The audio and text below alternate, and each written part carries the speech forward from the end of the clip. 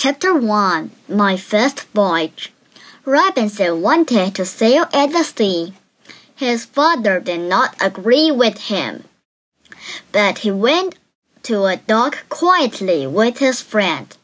He got on a ship and went into a storm. They got help at the nearest beach.